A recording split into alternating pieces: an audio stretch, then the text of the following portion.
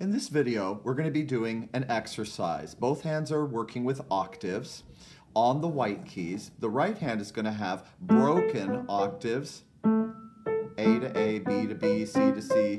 From the bottom note to the top note, it's going to alternate.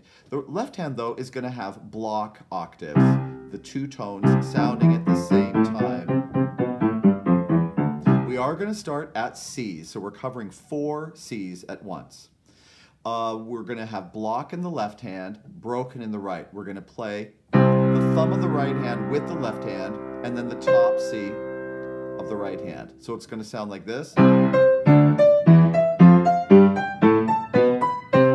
Once we've done eight, we're going to repeat this one, but in the right hand, it's top note, bottom note, and then return one hand position at a time.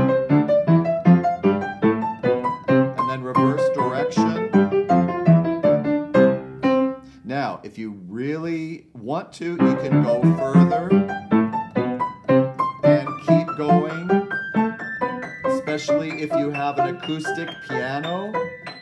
You get all the way up there.